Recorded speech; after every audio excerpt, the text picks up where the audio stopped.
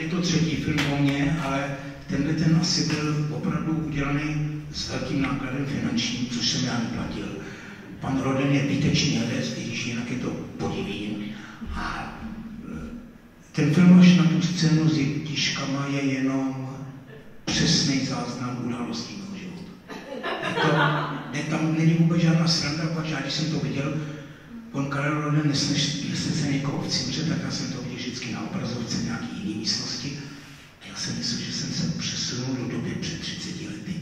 Tak mě on to sehrál. Čili ten film nezískal žádnou cenu, aspoň ne u nás, ale je až na ty jeptišky, to tam paní režisérka přidá a byl to dobrý nápad, je to věrný záznam skutečných událostí. Ale můžu být rád, protože o málo fotografiích byly natočeny tři celovečerní filmy. Mně se to stalo, viděl jsem ho jenom jednou a myslel jsem, že si jsem na kraji, abych mohl utéct. E, kdyby to bylo nějak trapný. Ale nakonec se stala neuvěřitelná věc. A jestli tady někdo, který tam byl v té, v té době, kdy ten film se uváděl v Lucerně, lidi vstali a celý titulky tleskali. A to jsem zažil naposled v roce 56. Jaro na ledě, Pečkovej film. Rakouský plná hovadina, ale proti těm bojovým komunistickým filmům to bylo úžasná úleva pro lidi, takže jako na protest proti, já nevím, kdo tenkrát byl u moci, Dubček ještě ne, lidi stali a tleskali, ale prosím, buď to Zápotovský, nebo náš nejkrásnější prezident? Antonín Novotný ke všemu ochotný. Jo? Takže takže ono to nebylo možná uznání, ale nějaký protest, protože hm, tam byly takové nevázané scény, kdy jedna moje skutečná milenka tam se jako milovala s panem Rodenem a takový. A některým lidem připadalo, že něco takového ještě nikdy neviděli. Ale je to všude kolem nás a pořád opakuji dokola a dokola. Je krásná. Ahoj. Tak, jdeme do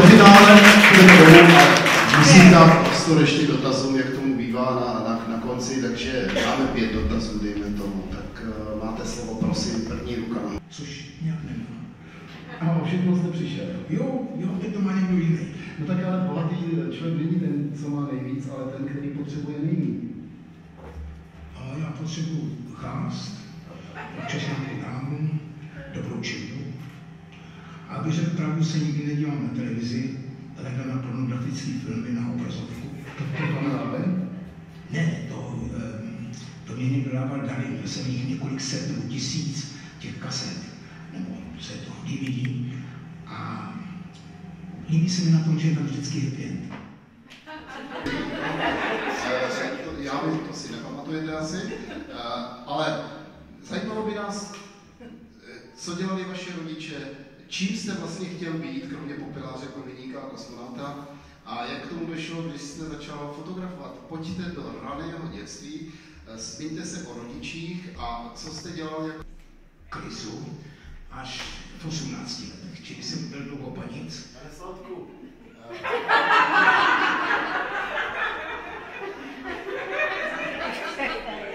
Tomu se říká noční můra moderátora. Já jsem netušil, že budete vyprávět o svém sexuálním životě od pěti let. Ne, ne, ne, od osmi. Ano, počkejte, já mám na mikrofon, ale víte co, teď o, o sexu budeme, určitě budeme bavit, jo? Ale teď řekněte všechno o sobě a vynechte sex. Dobrá, můj, můj otec byl výborný člověk, který se miloval, přežil dvě světové války, ale měl to jednu vadu, on měl sedm bratří a ty všichni zůstali v koncentrácích a proletěli komínem. Ale on přesto zůstal velkým člověkem a když odchytili Eichmana, tak otec si nemnul ruce a neřekl, konečně toto svině dostane, dostává, ale e, byl to velký člověk, který mi naučil jednu základní věc. Pač já jsem plaval už v předškolním věku a s ním jsem chodil na vycházky. Chodím dodnes. A když jsme přišli k řece, tak jsme si sundali šaty, dali jsme si je na hlavu a naučil to, čeho se držím i dnes, že je cesta a po ní musíme jít a nesmíme se zastavit. Za tomu velice vděčím. A nedávno jedna Čechoameričanka, která žije už dlouho ve Spojených státech, mě dala další poučku, řekla mi, žena je krásná. To jsem musel slyšet, pak jsem tupý, že jo. Tak jsem tohle to potřeboval slyšet a slyšel jsem to ve svých 80 letech. A pro dobře jsem to slyšel a tak ještě jednu věc, e, jsem příliš zdlouhavý. Ve Francii mě před lety řekli, být slavený neznamená být bohatý. A to se mi vyplnilo, protože teď je moje bývalá přítelkyně milionářkou a já jsem chudej a bylo to obráceně, že jo. A teď se to nějak změnilo a změna, jak Marci dobře víte, změna je život. Dobře, tak já se zeptám, eh, máte svou budoucnost před sebou nebo již za sebou? Budoucnost a břicho mám před sebou. To je jasný. Eh, neohlížím se nebo snažím se neohlížet, ostatně nedělám nic jiného. Eh, celkem jsem usoudil, já jsem velmi duchaplný, že život je krásný. Víte, spousta starých lidí vám řeknou, že to stojí za, moje matka používala výraz ono, což bylo nějak psáno za mnou to výkal. A jednou mi řekla taky takovou věc, byl si v zadnici a viděl si tam výkal. Ona to řekla jinak, tam byly jiný slova, ale tady jsou dámy, tak nemohou použít jiná slova. A to měla zatraceně pravdu. Ale život je krásný a prostě užívejte si ho a jestli váš drahocený čas tady nějak e, mařím, tak potom v chodu dostanete proplacenou ušlou mzdu. No, mě napadá jako ten citát, jak tady mluvíte, jen hlavu dolů a nikdy nestrácej svou beznaději. Ale buďme trošku optimističtější, vy jste mluvil jako o slávě nebo o tom. Co to znamená, nebo existuje, eh, existuje, nebo co to znamená být slavný? Včera jsem o tom mluvil do rozhlasu, ale budu se to prý vysílat až zítra. Být slavný, mluvím vážně teď. F1, nemám nic jmenovat, že jo. Promiňte, to je duší kašel. Mně se dostalo předevčírem a moje přítelkyně, ale už stará žena, 33 let, v sále, ale když to že byla mladší, kdysi. A tak to zažila se mnou. Jdeme po takové opuštěné dálnici, najednou kolem jde obrovský nákladák, přibrzdí, zatloubí, vykloní se kluk z okna a řekne mi střežuju vaše fotografie. Žalu, to je takový výraz jako obdivuju. A to je tak prozatím nejvíc, co se může mě, který se nějak zvláštně ukazuje na veřejnosti stát. Martina zná každý, protože byl kdysi spolnosti v televizi, ale on to jenom tak testoval, teď má mnohem výnosnější job. A to je, anebo když vám ve Francii eh, v nám přijde nějaký Japonec a ptá se, jestli nejsem den a den. Jsem. A to je úžasné. Čili aniž bych se o to nějak snažil, někteří lidé ví, že za těma fotografiemi, které, které uráží počestnost, je i nějaký autor a to jsem já. Stran fotografii. Jeden, jeden takový dotaz, protože každý umělec, který něco tvoří, maluje obraz nebo i píše, tak v podstatě e, nikdy není spokojen s tím dílem, že už je dovršeno. Je takový příklad, kdy um, jeden malíř, nebo teď mi to vypadlo, který uh, maloval tou technikou těch teček, tak mu... Pointillista, No, ano. Do, na, do, No, no, no, no, ne, ale má svůj obraz, už ho pověsili do Louvru, už tam vysel, a on vždycky do toho Louvru přišel se dívat na ten obraz. A když nikdo nešel, tak ještě tu tam přidal, protože pořád nebyl spokojen. Tak jak je to u vás? Považujete, udělali jste to jinak, dokončil, anebo všechna dobrá díla jsou nedokončená? Já nemám žádný dobrý díla, ale jestli eh, opravujete někde, když jsem ještě byl absolutně neznámý, opravujete pichlou pneumatiku a v chalupě se dovolíte, jestli si smíte umýt ruce. A tohle se stalo v roce 65. A, pardon, 73. musíte umít ruce a jdete do koupelny a tam mladá holka má eh, vaši fotografii, ne můj ksicht, můj fotografii, jak držím novorozený dítě v náručí a má to pod sklem na nočním stolku, tak to je asi tak nejvíc, protože samozřejmě mě nikdo nezná v té době, ale to je asi tak nejvíc, co může autor dosáhnout, jestli se to líbí mladým lidem, protože mladí lidé mají eh, velice vyhraněný vkus a eh, jestli ona před 50 nebo 60 lety tam měla moji fotografii otištěnou v Saník, tenkrát v Saník, dnes v zaniklém časopise Mladý svět, eh, na titulní stránce, tak je to pro mě velké vyznamenání, protože já se lidem neposmívám, já se snažím oslavit. Uh, jak byste charakterizoval to své dílo ve smyslu těch různých slovů týmu rokoko, baroko, to je baroko spíš, jako podle těch žen, ale jako ne, nechceme škatulkovat samozřejmě, ale ono se tomu nevyhneme. Když se někdo říct o tom díle, tak musí to nějak zasadit, když jsou impresionisti, tak Debussyho posloucháte, řeknete, to je impresionista a tak v hudbě, eh, v malířství to tež. Co, kam byste eh, zařadil ty obrazy? Droužci jsou to různý zprostání. Ale díky těmto zprostánám, které tady nejsou zveřejněny, proč by nás všechny zavřeli, proč byste, byste byli spoluviníci, těmto zprostánám, to znamená lásce mezi mužem a ženou, vděčíme všichni, každý, kdo je v této cimře za svoji existenci. A ještě mám jednu takovou věc. Vysvětlovali mi nějaký Charles Darwin, že pocházíme z nějakých řas, z krokodýlu a z ryb. A já nejsem samozřejmě hluboce věřící, že bych se chodil modlit do synagogy. Ale ženská je důkaz existence Boží, protože nic tak závratně krásného, tak nebezpečného, tak, tak nedostižného nemohlo vzniknout z nějaké protoplazmy nebo z nějakého bána. A čili já v těch fotografiích, nevím, jestli je tady většina dám, ale myslím, že jo, já v těch fotografiích skládám hold eh, ženské krásy.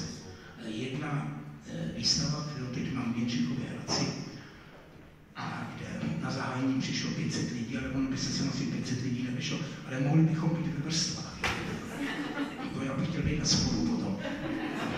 Tak ta výstava se jmenuje My lidé jsme krásní. A tomu hluboce věřím. Nikdy jsem nezveřejnil fotografii, která by pošpinila důstojnost nás lidí. Měl jsem takové fotografie, ale ty negativy jsem postříhal. Takže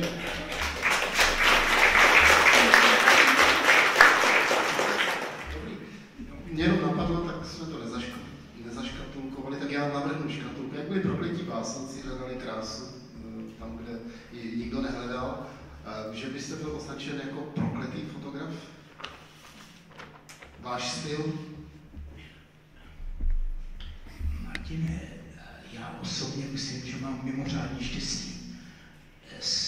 Nikdo v mých rodinách ze strany matky nebo otce se nedožil takhle vysokého věku. A horší je to s tou plodností, ale mluvím, že už to bude trošičku takový třeba na 10 pokusů. Dřív to šlo na první pokus. A myslím, že jsem měl štěstí. Ne, vím, že jsem měl štěstí. E, ještě mám jedna věc mimo vás, zajímavá. Mám tříletou dceru a ta má 60 letou sestru.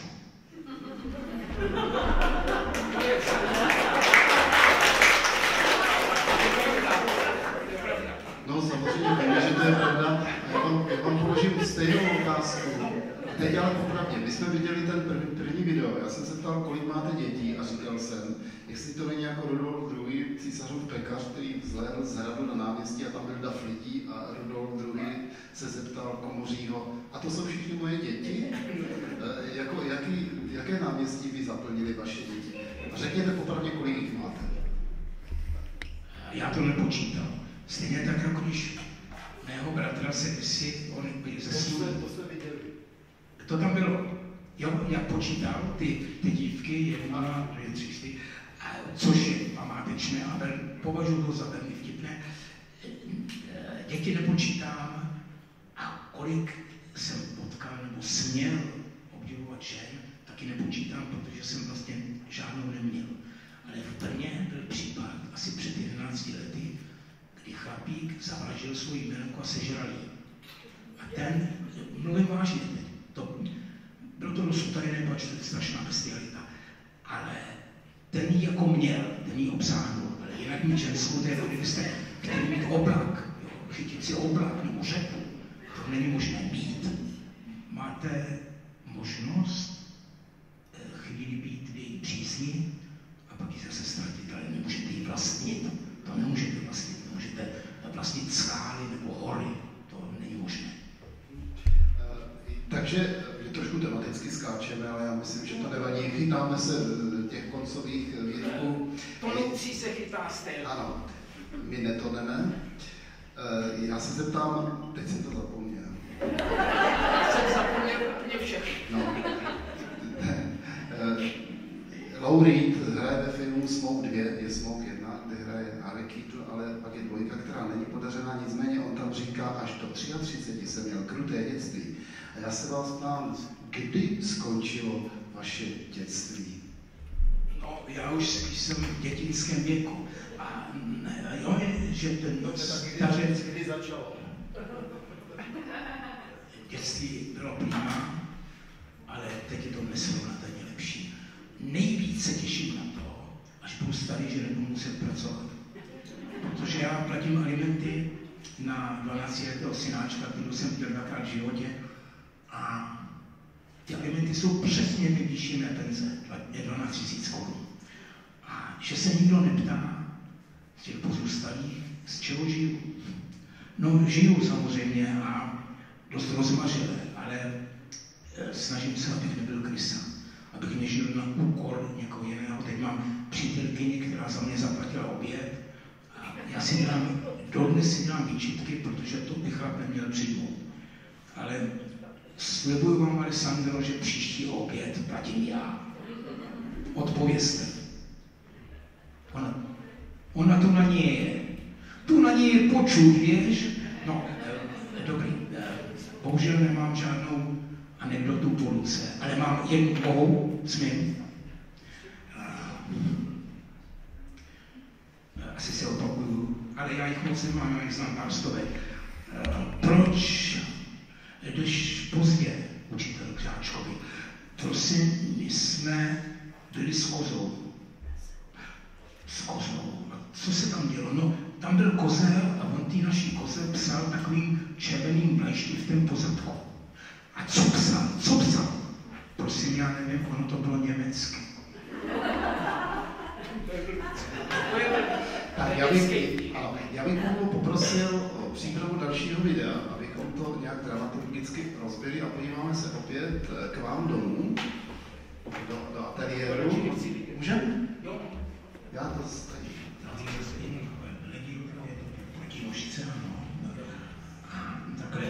No je vidět, že jste dvojče svého bráchy, protože kdyby, kdyby, to někdo, kdyby to někdo ukázal, tak řeknu, to je Kája Ale ten byl lepší, on byl lepší. A taky se dřív uklastal. On byl lepší než já ve všem, čili tady jsou kusy, že jo, ty jsou jako živí. To je ovšem v nadživotní velikosti samozřejmě. V nadživotní velikosti. Eh, tady dělám teď něco na objednávku podle fotografie, jo, a to se vypracuje potom velmi pečlivě, ale chce to čas, chce to čas. Tak, to jsem se zase vyznamenal. Tak, tak jsme opět nahlédli a tím přejdeme k, k obrázkům, protože eh, když i mě jenom napadlo, kdybyste eh, kreslil a pokračoval v díle svého bratra, tak vznikly určitě komiksy, jako byl v Mladém světě, když jsme chodili na něj, byl Černý tulipán nebo Fanfan tulipán, to bylo, to jsme kupovali jenom kvůli tomu.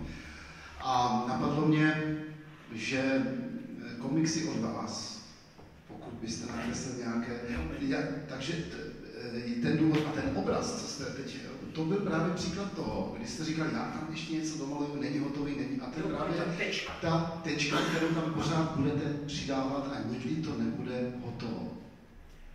Eh, no to je jako opravovat eh, abstraktní obraz, jo? to je nesmysl, to je akční malba, to, to nejde. Samozřejmě v tom nevynikám, ale já se tím živím.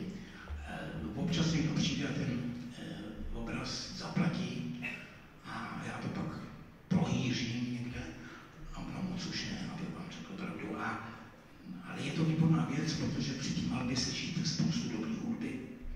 Teď jsem někde v 19. století a doufám, že se dožiju století 20. a 21. Jo? E, naděje, ta smíra, to jako poslední. A protože se vám nelíbily ty moje vtipy, tak slibuju, že vás můžu dostat.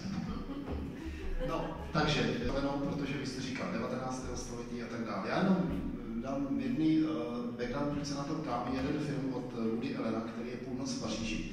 Viděl jsem ho asi 20krát a hodlám ho vidět ještě 30krát. Je to o tom, že on se dostane do doby Hemingway, ten člověk. Uh, Owen Wilson hraje a je nadšený, jaká to byla doba. Potká tam Luise Buněla a říká, mistře, ty, ty lidi jak nemůžou odejít, jako jak, a ten, a proč nemohli odejít, říká ten Buněl. No on to potom natočí. E, a s, s tou e, průvodkyní Milenkou Papa Picasso se dostane do století ještě dřív a tam je Toulouse-Lautrec a ona říká, tohle to je ta zlatá doba. On říká, ne, zlatá doba je 20. leta, ne, ty 90. leta, 19. století. Vždycky se nám zdá, že co bylo, jsou zlatá léta, je tam trošku nostalgie, že tady je to je ta nejlepší epocha, říkám 60. leta. Jako. Která epocha pro vás je nějaký takový symbol? Je to současnost, anebo vybral byste si něco z minulosti? Mluvte.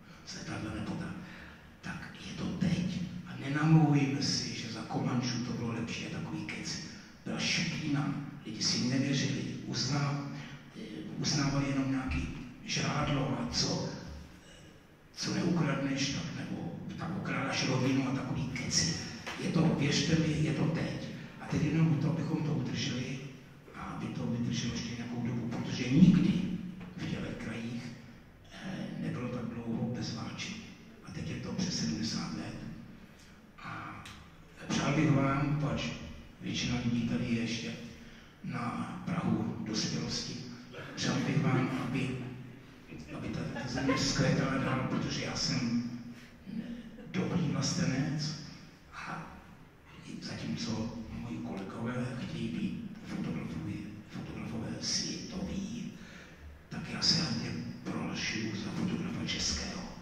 Čili užívejte si tuhle tu sen, protože, mi řekl jeden můj americký přítel, 100% američan, mi řekl, že to je nejkrásnější sen, kterou poznal.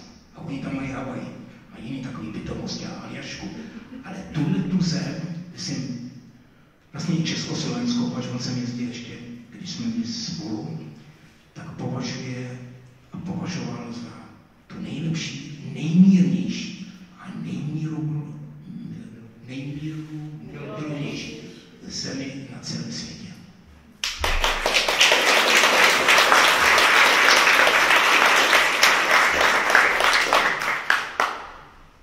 S tím, jak si řemeslo moderátora nemluvit do potlesku, víte?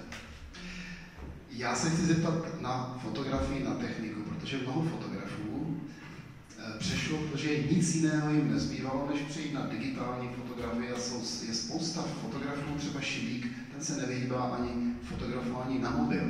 Takže já se vás chci zeptat, eh, jste konzervativec a fotografujete na, na filmy, anebo vy máte i jinou techniku, kterou jste si přivlastnil, to znamená digitální fotografie, anebo mobil? Eh, mám jeho mobil, takový levný za 990 korun, ale je tam kamera taky, můžete dělat fotografie. Není to ono, ten starý proces, kdy se z filmu nebo z desky eh, vyvolává ve vývojce a tak, má velké kouzlo, ale samozřejmě, když ke mně přijde Dana Zátopková, a to se stalo naposled asi před 6 lety, úctyhodná stará dáma, a já jí nemůžu říct ano. Já jsem to vyvolal v polívce omylem. E, přijďte zase zítra musíte to mít. Čili mám i digitální stroje a, a fotografuju na ně. A e, ostatně teď vyjde knižka všech těch slavných sportovců. Někteří už tady nejsou mezi námi. Nebudu se bránit novinkám. Nebudu jezdit v kočáře nebo chodit v brnění. Mám sportovní dlousic, e, koupila mi to moje mladá žena jako dárek k Vánocům. Mám sportovní dlousic, jmenuje se to Spider mám eh, dobrý modely eh, fotoaparátů. A to není, že bych se vytahoval, ale nemohu popřít, že digitální fotografie je budoucnost. Těch 25 milionů pixelů to nikdy nedostanete na film. Ale byla to doba, která zanikla tak, jako zanikla některá řemesla, třeba výrobci brnění nebo e, kočové, to vlastně už moc není, že dneska povolání kočí.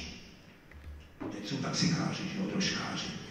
A e, nebudu se bránit, e, já jsem spíš neklidněn z toho, že to bylo, e, ten jeden filmový shot byl fotografovaný nebo filmovaný před asi dvěma týdny, třema.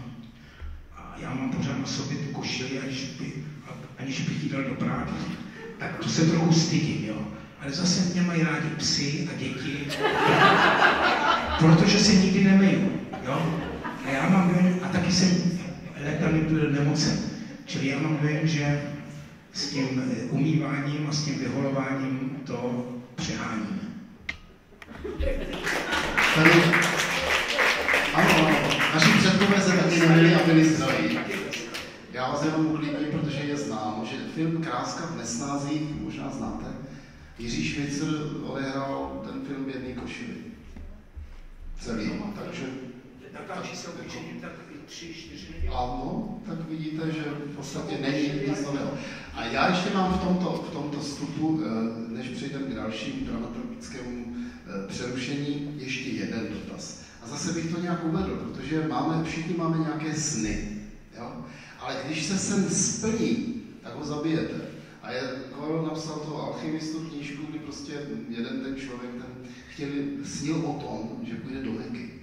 Kolem chodili lidi, putovali potom přijal pomocníka a ten pomocník mu všechno dělal za říká, tak mistře, můžete jít do Meky. A on nešel, říká, no proč, já bych, o čem bych snil dál. A u nás je to stejné, my máme vledník. My pořád sníme o tom, než vyjdou ty, ale my chceme, my toužíme potom. Nebo podvědomě chceme, aby se ten sen nesplnil, protože pak už by nám vůbec nic nezbývalo. A já se ptám, máte nějaký sen, který nechcete, aby se splnil? Já mám sen, že bych chtěl vidět tu poslední holku tříletou, jak se naučí plavat a jak jde do školy. Je to sice komický. No, kež by se mi to splnilo, protože já už tohle to říkám tři roky a Choď mi řekla, ale Jeničku, když jste to říkal před třemi lety, že ji neuvidíte, její první kroky, její první slova. A splnilo se mi to. Čili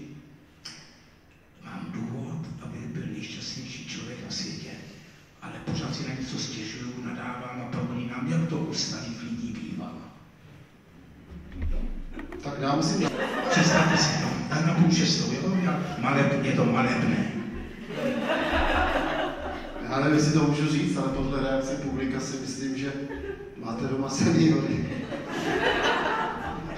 ne, ne, to, bylo, to byl jenom takový eh, pokus eh, komentovat publikum. Já myslím, že teď, eh, že teď bychom mohli přikročit k dalšímu bodu programu. Protože pan Saldek si pro vás, diváky, který jste přišli, připravil dárek. Máme to připraveno? Nebo proto musíte letět? Je, výborně, tak pojďte sem. A trošku to tady rozvíříme a e, tak řekněte, pane Soudku, co jste připravil pro naše diváky?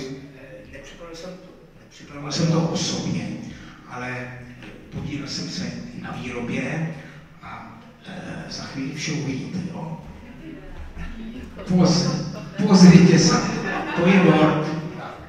A ten dort tady, tady je ta fotka, o které jsem mluvil, jo? Tomu pokoji 54 let a tohle jsem já, když jsem byl o něco mladší. Jo? Tak teď nakrojíme.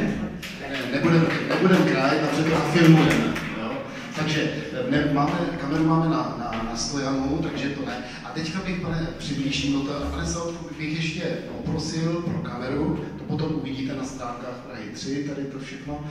Bohužel bude špatný zvuk, protože se bude třískat s tím mikrofonem, ale to myslím si prominete. Pane Saltku, prosím vás, vemte si, nebo já vám přidržím mikrofon, vy vezmete, natočíte na kameru eh, tady ten dort a budete komentovat. Tak. Je to dort sladký jako náš život. A tady, na kameru, na kameru, kamera je tam, tam. Konečně budu na obrazovce. Ještě. Eh, To slyším vždycky od ženský. Ještě jednou, nešlo by to ještě jednou. Nešlo. Nešlo. Ta- Tady je tento dortový korpus a eh, korpusový dortus. Doufám, že vám zachutná, protože nesmí z toho nic zbýt. Jo? Eh, Hlavu tam nemám, protože nejsem fotogenický, což jste viděli v, ve filmech před několika okamžiky. Ale přeju vám dobrou chuť a těším se na shledanou zase. Ne, za- ještě nekončíme. Nekončíme. Nekončíme. Tak, já, ano, víte co, tak dobře, tak uděláme to tak. Uh, utávka, protože já si myslím, že si to budete chtít vyfotit, no, že jo, ne, než bych to nosil mezi vás, tak víte co, pojďte, kdo máte mobily, pojďte si ho vyfotit s panem Salkem, dejte si to takhle, no, kdo, kdo chcete, pojďte si to vyfotit, ať, no, takže 10-15 minut přestávka, focení dortu.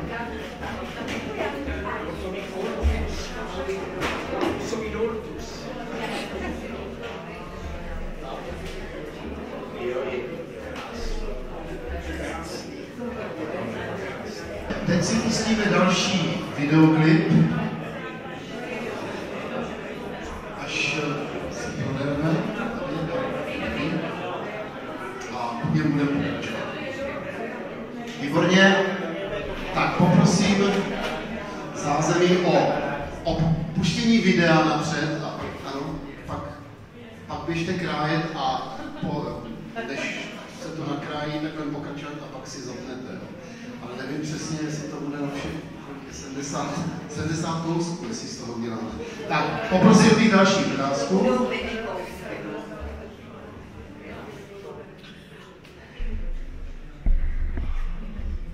Osm vzpomínkové pohlednice, eh, které mi vyšly v Sovětském svazu, to se okamžitě zakázalo po čtvrt proti Putinovi.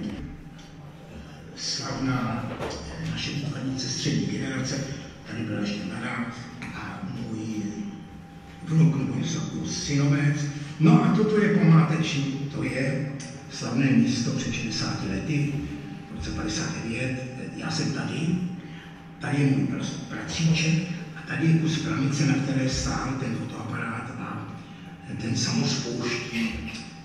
Tohle jsem tam přidal, to kádr skáče ještě nevím. Tak já bych jenom doplnil, možná jste si všimli i z jiných fotografií, takový, takový menší eh, úlitba bohům nebo podfůdek, protože je, já nevím, asi deset různých fotografií, ale to nebe je tam pořád jenom jedno, jako na této ty fotce, jo, pane Sartko. Není to podvod na, na, vaše, na vaše obyvatele, tak co o tom řeknete? Pro vaši informaci, všechny současné pohlednice, které se prodávají s panovátem Prahy nebo eh, jakékoliv paměti hodnosti, tak mají to nebe taky přidělené. Protože eh, tam se fotografie objekt, ten potřebuje úplně jiný světlo. A ta to není podvod. Ta obloha je málo kdy taková, že by už na té pohlednici nebo ilustraci mohla být. Čili to snad ještě dovoleno. Ale to je z doby ještě starobních fotoaparátů. Dneska se lže tak, že můžete Trumpovi nasadit hlavu Putina a nikdo nepozná, že to je jiný tělo, jiná hlava. No, ono mezi námi jsou to úplně, úplně dost stejný hajzlové, jo. Ale, eh, čili eh, dneska se víc lže taky se dělá jedna věc, která je velice nebezpečná a špatná, že se ukazuje kult mládí a že někdo by mu mohlo být 30 nebo 40 nebo i víc, nebo že má 50 kg na váhu, tak to už dneska je vlastně víceméně zakázané. Lidi se přestali eh, objevovat skutečný krásy a vidí jenom nějakých mladých, nedospělých dědičkách a urostných mladých mužích, kteří předvádějí módu. Ale problém s těma těma eh, mladýma mužema je, že on už každý, každý z nich nějakého chlapce má. No samozřejmě, no a, dobře vypadat neznamená být štíhlý a mladý. Dobře vypadat znamená nebýt krysa. Pokud možno nelát. A já teď nebudu si nic namlouvat, viděl jsem se teď a já se nenávidím. Nejsem rád, ale mohu si dovolit jednu věc a říkat pravdu. A to je k zaplacení. Proč ještě před 30 lety jsme tady všichni láli. A teď si můžeme dovolit říct pravdu, i když je třeba nepříjemná. Ostatně Friedrich Nietzsche řekl, že nikdo pravdu neustal. A já taky ne, že jo, ale eh, to, když si vezmu ty brejličky a trochu se přibořím, teď nejsem ožralý, tak si připadám, že jsem stále ještě poměrně rád.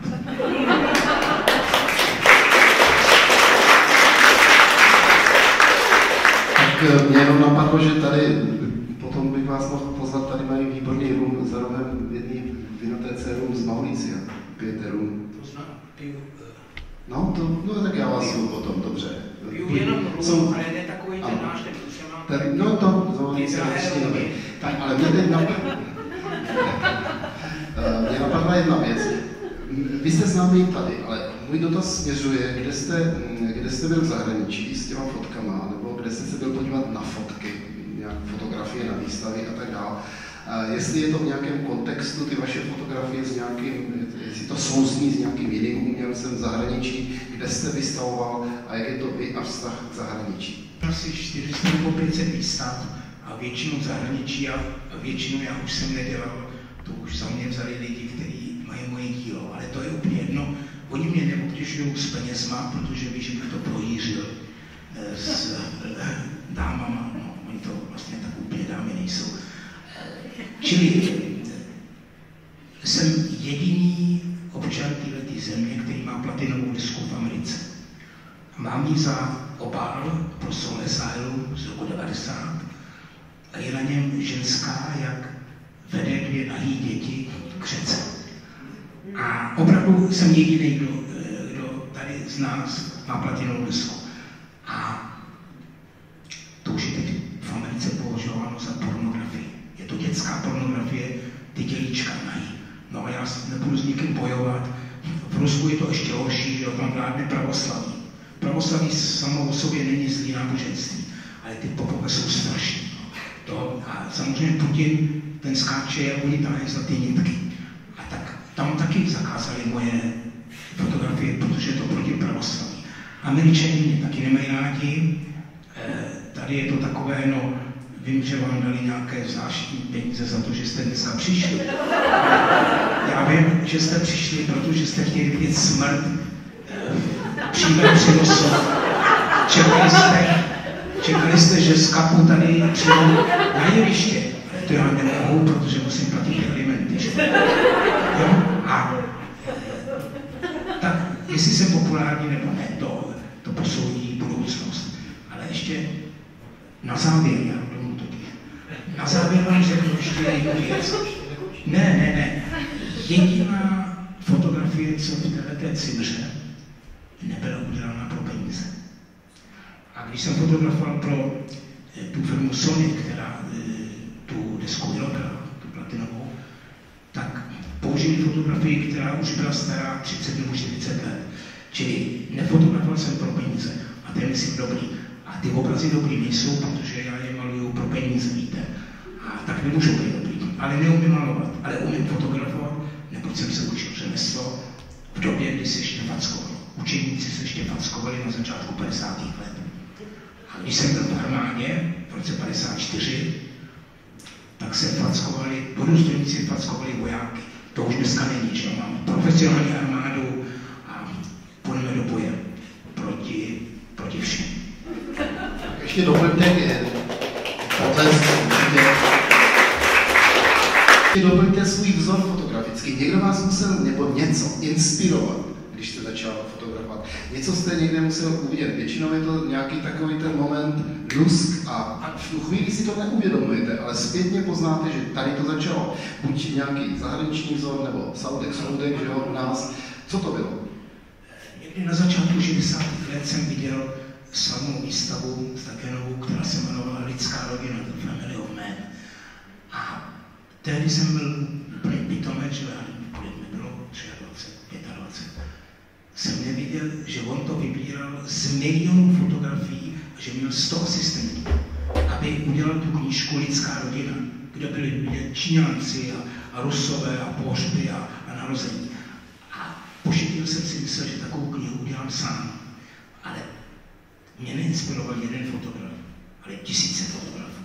A že jsem začal fotky aranžovat, to je proto, že vůbec nejslavnější fotografie eh, z konce druhé světové války, eh, jak nad Reichstagem vstyšují sovětskou vlajku, je aranžovaná. To je dělaná tři dny po skončení války, po vyhlášení míru, ale je, jsou na ní skuteční vojáci, skutečná vlajka a skutečný rozsekaný Berlín. Čili ta fotka je aranžovaná, ale je tak silná. Je to v každém případě jediná největší fotografie z války. A bylo tam tisíce reportérů a udělali miliony fotografií, ale tahle ta fotka není z války, ta je po jejím konci. No. To byste by eh, nevyčítali třeba, že veškeré ty moje obrázky jsou aranžované, ale dá se jim věřit. Ten chlap, to dítě opravdu drží z lásky lidi se pokouší to fotografovat znovu a s krásným panem Dickem vyfotografují nějaké nalezené děťátko. Proč má džinci, nevím. A je do půli těla, nemůže to učinkovat, musí to být otec a jeho dítě a tam nebo lásku. A už to dítě nemiluju, samozřejmě je to klacek, když na 50 lety.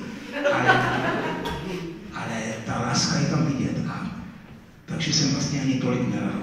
Ale aranžoval jsem to, připouštím a inspirovala mě ta, dneska asi už by to nebylo tak silné, ta kniha Lidská rodina od Edvarda Stekena.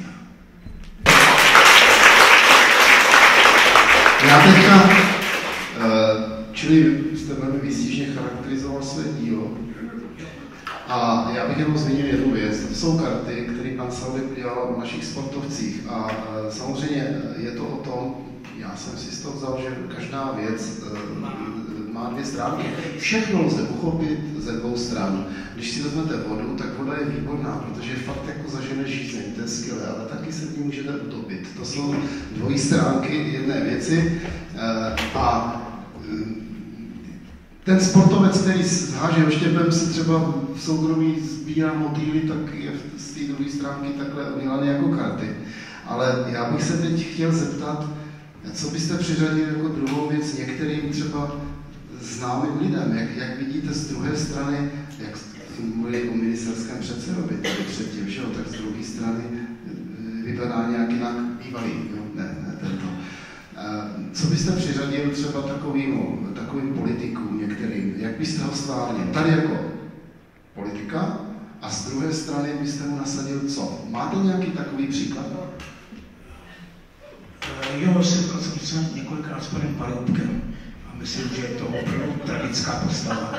To říkám urážlivě, ale ta jeho posedlost s ženskými a opouštět je a soudit se, to, to mi připadá velice uh, zvláštní, protože... Zdruj, no, prase samozřejmě. Určitě, je to životatelný. Ale jo, no, když... Ne, počkejte, tak vepře domácího. Jo? To je ošípané, myslím se říká slovensky. Ne, ale eh, mně pořád připadá, že píseň politická je tvůj píseň špinavá. Eh, ale vidíte, Trump je miliardář a šel do toho. A já jsem vždycky věřil, že když bohatý člověk bude dělat politiku, že to nebude dělat pro peníze. No ale u nás, v té naší maličké zemi, to asi tak úplně neplatí. Jo? Protože Ivan Zável, který jsem obecně znám, tak si to pěkně užíval a je to dobře, pač zemřel mlád, v nedožitých 80 nebo ještě tři. Zemřel mlád a tak si to aspoň užíval. Ale myslím, že ten prezidentský stolec nebral dost vážně. To, to je, co, co mu může vyčítat. Měli jsme společnou Helenku, to všechno je možný mě rád, protože já jsem byl svalnatý, on nebyl svalnatý a měl posílat zapadlý vlastenci, ale myslím, myslím, že jednou přijde čas, a mnozí z vás se to ještě dožijete, kdy politiku budou dělat velmoži, kteří milují vlast a myslí to si vážně. Na co jste ve svém životě nejvíc hrdý? A teď úplně vážně, že jsem Slovan. A kdyby se měli přijít muslim, radši vezmu rusáky. To mi věřte. Protože proto ty avaři vždycky uváželi slovanské ženy na těch koních tam zpátky k těm tepelům, protože slovanská dívka, Polky, Češky a Slovenky jsou nejkrásnější na světě. A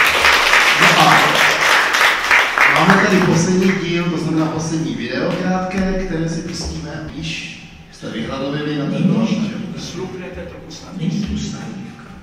Ani dítko, ani krajina, ani tento pes, bez bezdomovců.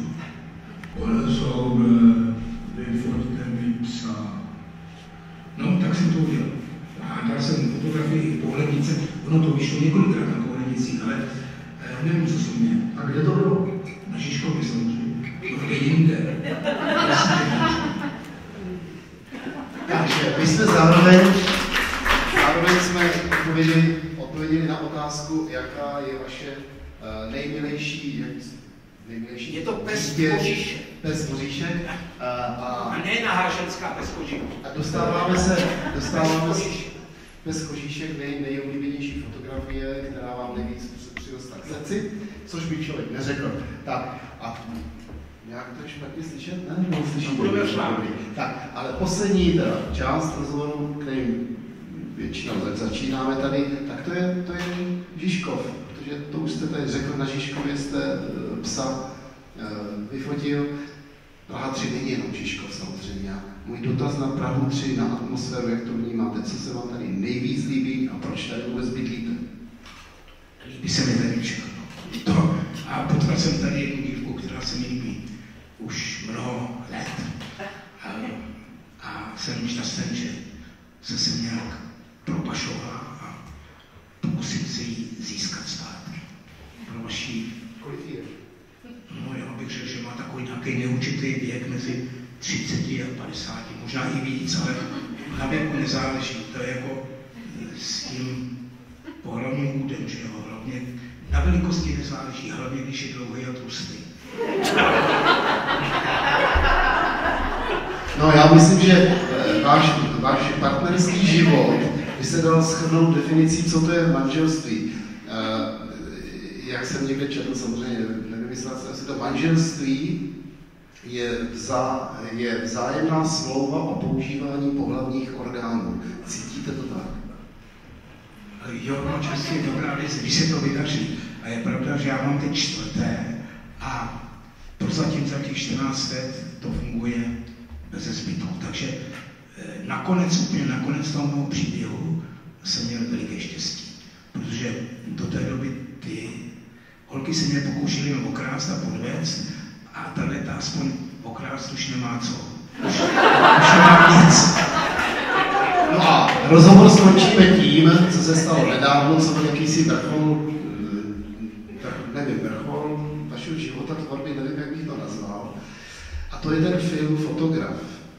A líbil se vám, nebo podíval jste se, samozřejmě víme, četli jsme, ale chceme to slyšet od nás, jak se, jak se vám, a ten dotaz potom je takový lípavý, omlouvám se, ne, neomlouvám se, za dotazy se neomlouvám. E, jak se vám, dívá se vám na sebe dobře? Myslíte si, že je dobrý, za, ještě když jste neumřel a už po vás je film? Já bych měl jedno konstatování a jeden dotaz. Jsem Londýně jsem před řadou let hledal v jednom z největších knihkupectví české stopy. Našel jsem dvě. Publik, publikaci od vás a film Modrý svět.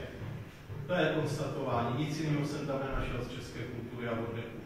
A druhá věc, jak se díváte na současnou situaci, nebo jak byste se zachoval ve světě mýtů?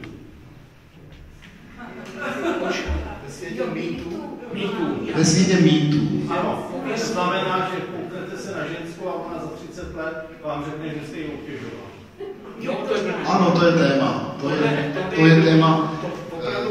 Tady, ano, já mám na mikrofon, ale samozřejmě to situace, kdy nemohoucí muž na vozíčku byl úplně zarašení, protože někoho plázl po zadku. Jo, to je špatný, protože před lety jsem byl ve Finsku a nějaká dámě jsem upřímně řekl, že je krásná, což jsem, a ona už to měla za harassment a to je, to je naprosto kicks. A to sem přijde všechno tohleto, ale věřte, že většina věcí se dělá pro peníze ty dívky chtějí většinou nějaké odstupné nebo odškodné nebo něco takového. No, ale já prostě budu ve věku, kdy už se žádného harašení nebudu moci dopustit. Ale samozřejmě jste slyšeli o tom, že vzniká hnutí, které je proti tomuto hnutí, protože to jsou ty ženský, které zase chtějí. tak další dotaz. Tak pokud není, tak jo, vlastně, prosím. Dobrý Mistře, já bych se zeptal, jak vnímáte, uh, jak vnímáte reakce současných tzv. českých fotografů na, váš, na, na, váši, na vaši práci a na váš věhlas a slávu? Není vůbec žádná reakce. Před pěti lety byla volba nejznámějších českých žijících fotografů a dělali to kurátoři a kritici já jsem nebyl mezi 50. Ale horší by bylo, kdyby byl třeba 22. Jo, to by pak na zema kopa nožička. Nebyl jsem mezi 50. První byl samozřejmě pan, druhý byl pan Štrajt, první byl pan Kratochvíl, který pracoval v Americe, a tak dále, a tak dále. Já jsem tam nebyl, no, takže vlastně neexistuju. Ale ujišťuju vás a jsem vděčný za to, že jste přišli, že zatraceně existují. A že ještě přeplanu řeku.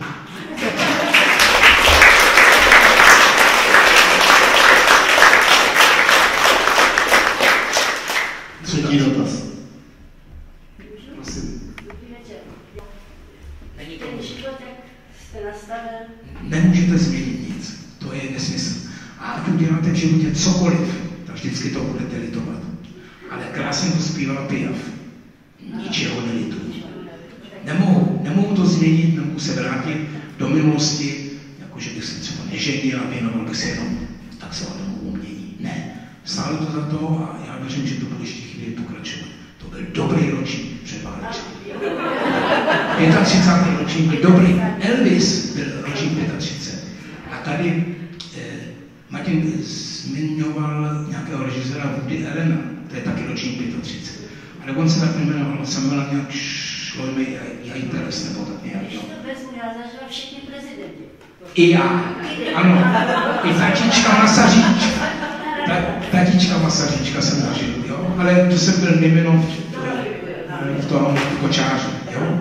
Dobrý, tak čtvrtý dotaz. Ano, prosím. Prosím vás, pane Soubek, berete pravidelně léky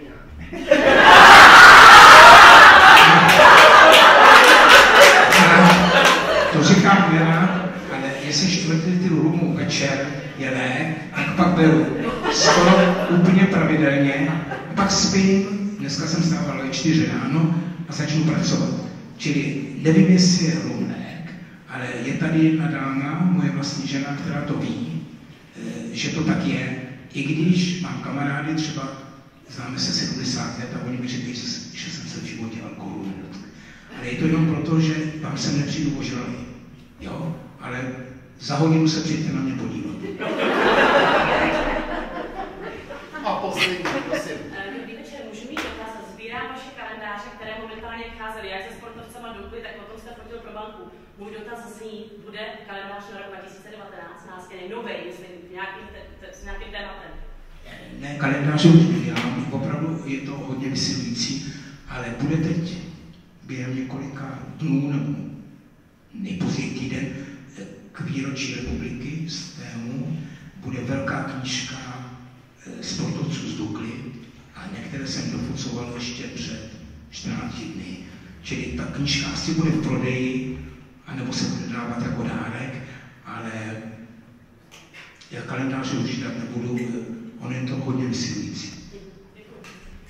Tak eh, já myslím, že poděkuju. Máte tady samozřejmě obrazy, které si můžete prohlédnout, nebo jste si prohlédli. My jsme o nich nemluvili záměrně, protože obraz přece vypovídá sám za sebe. A jak mi jednou řekl pan Milan Uhde, eh, pokud bych musel někomu něco vysvětlovat, pak je pro pochopení indisponován. Je to tak? Natürlich, natürlich. Takže eh, pokud eh, obraz má působit, myslím si, že jsme tady řekli spoustu věcí, ten čas, který tady máme vyměřen, nemyslím na této země kouly, ale dnešní večer, no, uh, uplynul. Já myslím, že ještě mnoho lidí se vám bude snažit s vámi tady udělat nějaké selfiečko, takže poprosím o trpělivost, bude se jíst dort. Jo. Někdo bude chtít podpisy, takže proto tady jsme. Nebo oplodnit třeba. Jsme vás vzadu neslyšeli, mohli byste to říct ještě jednou. Ne, to, to se stává v poslední době velice zřídka, párkrát za rok, jo, není to tak často, že by byl požádán o splození potomka, ale pokouším se být vstříc, jak to vím. No, eh, takže to byla řečeno klasikem taková hezká tečka za tím naším případem. Eh, Tam na vás čekají drobky, teda, protože jestli se to podaří rozsekat ten dort na tolik málo částí, to nevím. Eh, Pan Saudek tady bude ještě k dispozici, tedy víceméně nahoře, takže abychom to nějak udělali, my teďka s panem Saudkem výjdeme a my potom bude se, a potom nahoře máte. Takže děkuji.